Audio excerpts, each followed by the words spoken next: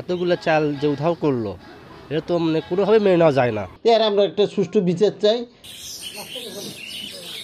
হঠাৎ খাদ্য গুদামে তালা দেখে বিস্মিত এলাকাবাসী। জেলা খাদ্য নিয়ন্ত্রক খবর পেয়ে নির্বাহী ম্যাজিস্ট্রেটকে নিয়ে উপস্থিত হন সেখানে। এর আগেই লাপাত্তা খাদ্য গুদামের ইনচার্জ আনোয়ারা বেগম।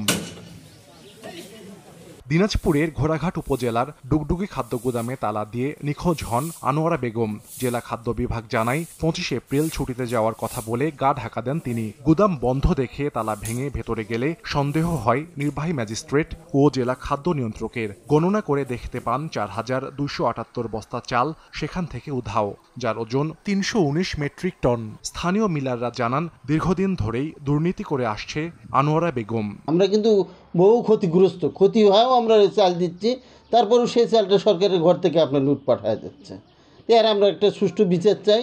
এতগুলো চাল যে উধাও করল এটা তো মানে কোনোভাবে মেনে নেওয়া যায় না। এটা খুবই কষ্টদায়ক এবং এটা দৃষ্টান্তমূলক শাস্তি হওয়া উচিত। এক দুই তিন। ঢাকায় জমি জিতে নিন। একশো পার্সেন্ট ক্যাশব্যাক সহ বিশ কোটি টাকার পুরস্কার। এ ঘটনায় পাঁচ সদস্যের তদন্ত কমিটি গঠন করা হয়েছে। তদন্ত প্রতিবেদন এর ভিত্তিতে আমরা দুদক ব্যবস্থা নেবে। আর অভিযুক্তকে খুঁজে বের করতে আইনি প্রক্রিয়া চলছে বলে জানিয়েছেন জেলা খাদ্য নিয়ন্ত্রক। ভারপ্রাপ্ত কর্মকর্তার সাথে এই দুইজনের প্রত্যক্ষ সহযোগিতার যোগসাজশ পাওয়া গেছে। তো এই বিষয়ে থানায় ঘোড়াঘাট থানায় অভিযোগ দায়ের করা হয়েছে।